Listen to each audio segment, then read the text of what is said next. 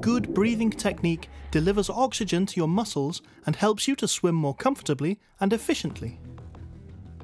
The more efficient your breathing technique, the less impact it has on your stroke. As your arm begins to recover over the water, turn your head to the side, breathing under your arm as it moves through to the front of the stroke.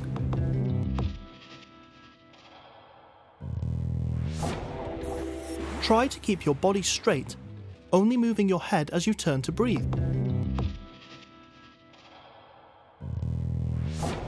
Your body will rotate slightly, but aim to keep it as flat as possible. To breathe, turn your head slightly so that your mouth is just out of the water. Your eye line should be level with the side of the pool, not the roof. Reduce the amount you turn your head if necessary. Return your head to face the bottom of the pool as soon as possible after breathing. Always breathe in through your mouth, not your nose. Once you've returned your head to the neutral position, slowly breathe out through your nose or mouth. Exhale slowly and comfortably, breathing out until the next breath in.